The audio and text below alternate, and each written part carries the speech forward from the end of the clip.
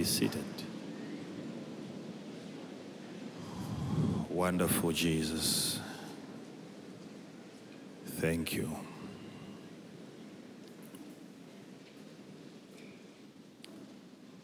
I gave you an assignment, right? And I said there is a scripture that I would, I would, I would want you to go home and read. What book and what chapter was that? What is it? Genesis chapter? From the first verse. We are dealing with the subject of demons. Okay? Demons, or we are dealing with the spiritual life. It's, it's, it's a spiritual, because there's a scripture that I gave you last time when Paul said, We are not I would want you to be ignorant of the spirituals. That was the actual word there. I don't want you to be ignorant of spiritual matters. Okay. And it came to pass when men began to multiply on the face of the earth, and daughters were born unto them, that the sons of God saw the daughters of men that they were fair, which means they were beautiful, and they took them wives of all which they chose. And the Lord said, My spirit shall not always strive with men, for that he also is flesh. Yet his days shall be in hundred and twenty years. There were giants in the earth in those days, and also after that, when the sons of God came in unto the daughters of men, and they bare children to them. The same became mighty men which were of old, men of renown. I don't know how many times you have read that one, but I thought it was going to be very wise for you to also try to do your own separate research and to try to find out how complicated it is to give an interpretation to that particular chapter. So that you will appreciate when I spend more time trying to justify, trying to defend, trying to quote scriptures. You will understand why I'm spending so much time into all that. Because by then you will have known that it's a controversial subject or controversial uh, portion of scripture. When a man of God comes to you and he's presenting a case which is critical and you're not even aware of how critical it is, it will never make sense to you why he's spending much time in trying to explain this and trying to explain that. It's a critical subject that we are dealing with. So I, I promised to really take my time and explain in detail to you how the Spirit operates, what is happening in the atmosphere, what are the spiritual activities that we can't see from where we are. So I want this thing or this subject to be really understood. That's why I'm trying by all means to take it slowly. And we'll have a time of questions and answers. So understand it's not all about having an examination, no, but knowing how the devil is operating and how demons are operating. It gives you an advantage over the enemy. Because when you're sitting in one place and you see something happening on a different place, you are able to come up with answers and reasons. Because there is such a thing, we once spoke about it, which they call cause and effect. Things do not just happen, there is no such a thing as a coincidence. Things are properly planned, things are falling into their intended positions and things are happening right on time. Things are dictated from the spiritual realm. We don't have events in unfolding just like that without anyone being behind those events or being in control of what is happening. So I want you to please stay with me on this wonderful journey of studying the spiritual activities, whether these um, spiritual people are godly people or evil people. Let's talk about the spiritual. It gives you an advantage to understand, to know when things are happening the way they are happening. I once gave you a very good example at how can we have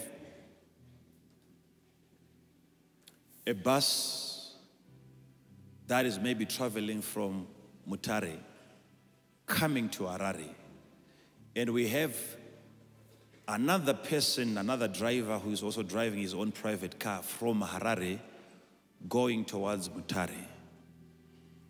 And there is a place where they have to meet somewhere maybe after Rusape. And there is a head on collision. Why? Just because of a tire burst. And then because of a tire burst, the bus driver could no longer control the bus and it veered off the road, right? And then it eventually encroached into another person's lane. And therefore, there is a head on collision. Why these things? You see, how can a tire just best. Right at a time when somebody is on the other side.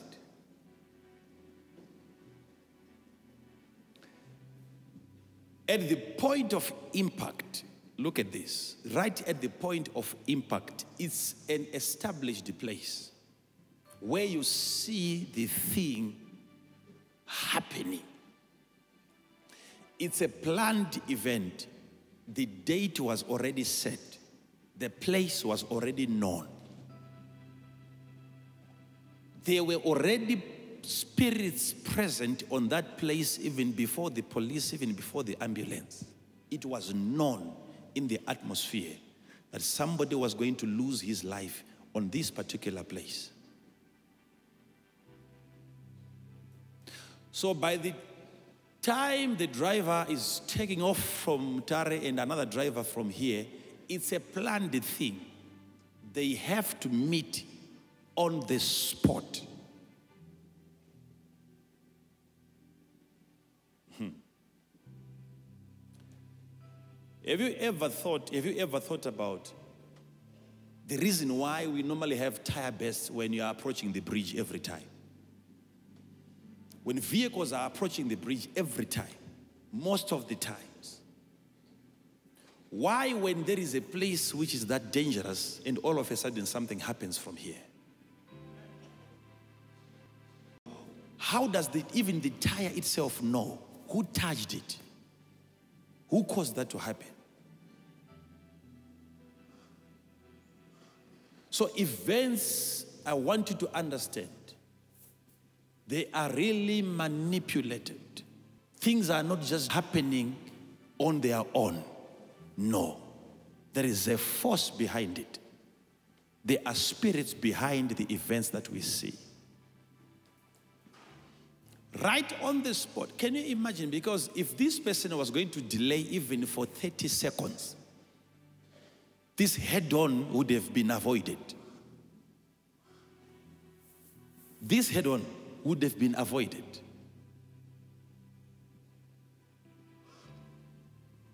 Which means at a time when the driver who is coming from here has to stop somewhere, maybe on a lay-by, he has to be taking this and that and so on.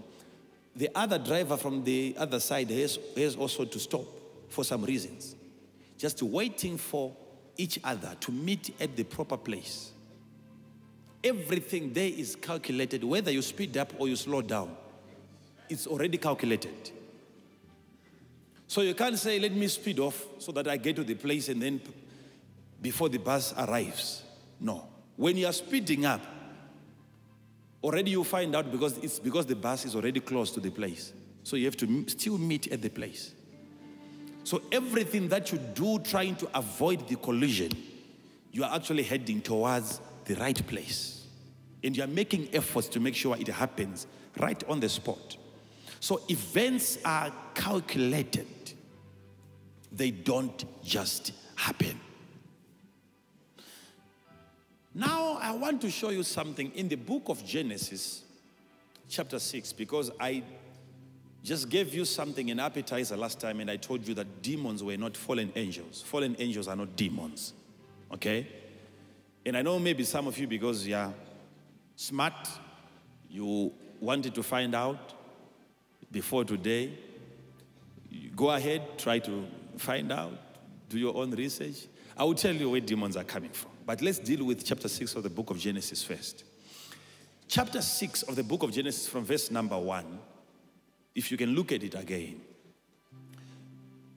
And it came to pass when men began to multiply on the face of the earth, and daughters were born unto them.